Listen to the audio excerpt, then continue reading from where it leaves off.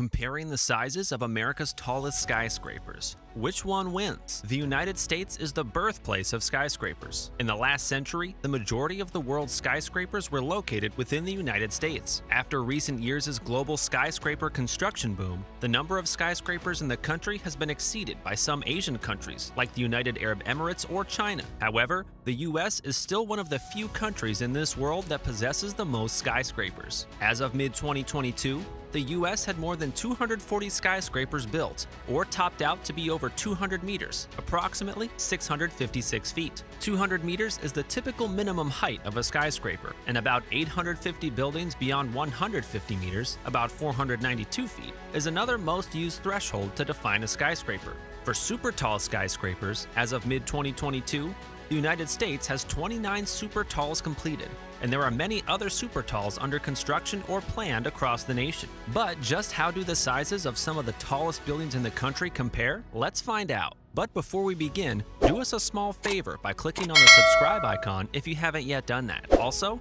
give us a like, share the video, and don't forget to turn on the notification bell for timely updates of our latest uploads. Now, let's get it on. 1. One Trade Center, New York. One World Trade Center is an important part of the New York City skyline. Otherwise known as 1WTC, the skyscraper is the tallest building in the U.S. Today, 1WTC stands as a symbol of triumph over terror. Formerly known as Freedom Tower, 1WTC occupies the same site as the former World Trade Center towers, which were destroyed on September 11, 2001. This iconic structure is 1,776 feet tall. The number is a symbolic nod to the year America established its independence from British rule in 1776. Opened in 2014, today the building is at 95% occupancy. 1WTC has 104 floors, 73 elevators, and 3 million square feet worth of office space. There's even an observation deck at 1,268 feet. Almost 425,000 cubic yards of concrete was used to build One World Trade Center. That's enough concrete to build a 5 foot wide sidewalk from New York City to Washington, D.C., roughly 226.2 miles. The budget stood at a tear dropping $3.9 billion. One WTC is considered an iconic glass building, named a fortress enveloped in glass by Icon Eye with geometric shapes. The exterior consists of 2,112 insulated laminated Viracon glass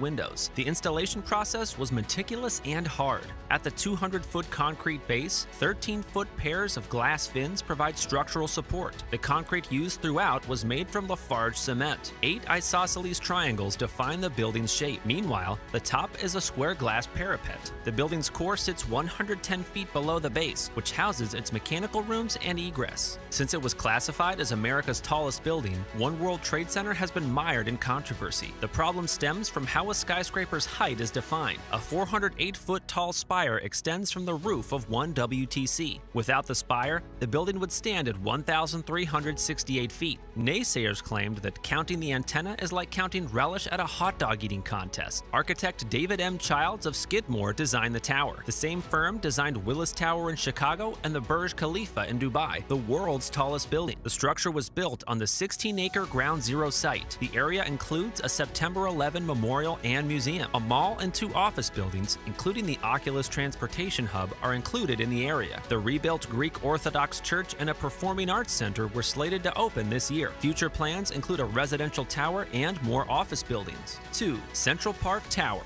New York. Central Park Tower is an iconic skyscraper located in the heart of New York City that has become a prominent landmark in the Manhattan skyline. This architectural marvel offers a unique blend of luxury living, breathtaking views, and world class amenities. Its rich history and distinctive features make it a prominent attraction for residents and visitors alike. The history of Central Park Tower is a fascinating journey that encompasses the construction and development of this architectural marvel. The architectural design of Central Park Tower is modern and elegant. It has a sleek glass facade and impressive height. The design focuses on maximizing views of Central Park and the surrounding city skyline. One notable feature is the strategic placement of large windows throughout the building. These windows allow for natural light and panoramic views of Central Park. The design also includes terraces and balconies for residents to enjoy. It is safe to say the design prioritized functionality and efficiency. The height and size of the building make it an impressive feat of engineering and architecture.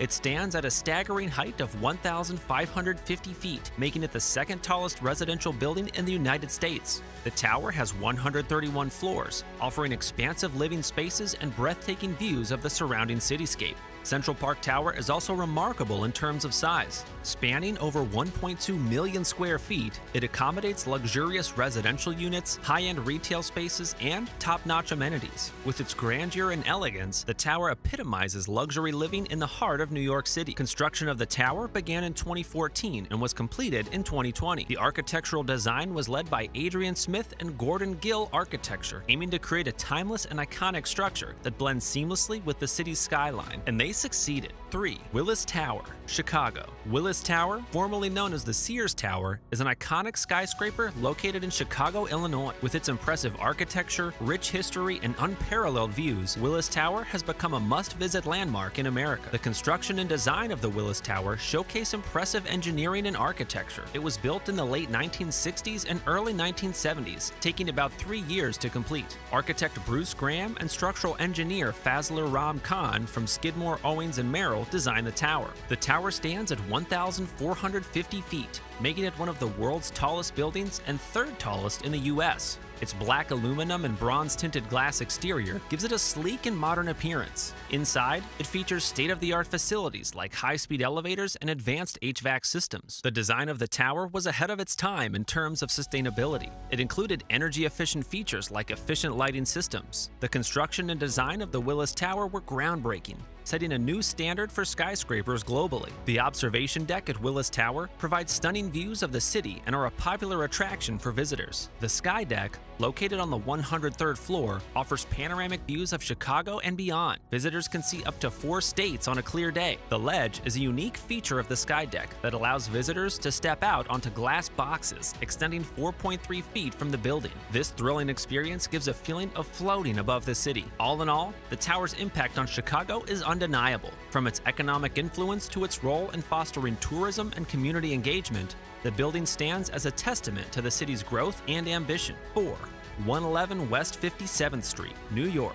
The world's skinniest skyscraper gloriously embraces the rich legacy of Manhattan's historic skyline, but it also raises awkward questions about sustainability and affordable housing. The super tall luxury tower has a width to height ratio of about 1 to 24. It stands at 1,428 feet. The widest point at the building's base is roughly 57 feet wide. It is also called the Steinway Tower. Situated on Billionaire's Row, Steinway Tower offers 60 residential units. The main tower holds 46, and the other 14 are in the original Steinway Hall building. The building's 14 elevators offer fast access to each residential unit. The original Steinway Hall has five elevators, while the new tower has nine. The basement and floors 1, 3, and 4 are commercial spaces. Also, the 51st, 71st, and 86th floors were designed as windbreaks and therefore do not contain residential units. The original Steinway building remains a city landmark. Situated at the base of 111 West 57th Street in New York City, it served as the iconic piano company's store for more than 90 years. But with a name like Billionaire's Row, how could a residential units be anything but expensive?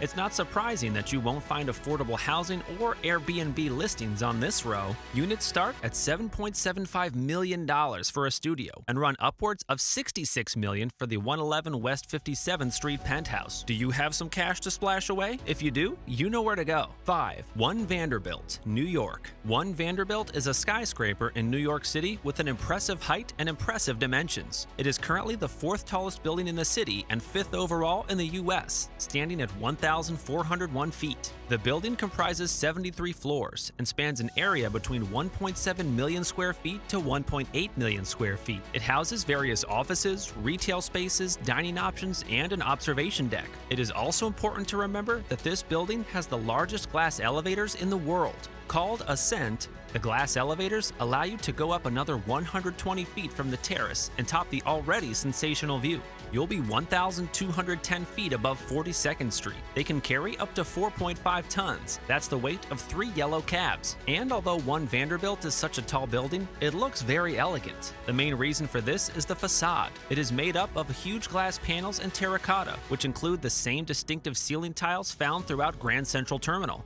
Thus, new and old meet harmoniously. And there you have it, the top 5 tallest buildings in the US. Have you visited any of them? If you haven't, which one would you want to visit? Let us know in the comments section below. Also, remember to subscribe, like, and share, not forgetting to turn on the notification bell for timely updates of our latest uploads. That's it from us today. Until next time, thank you for watching.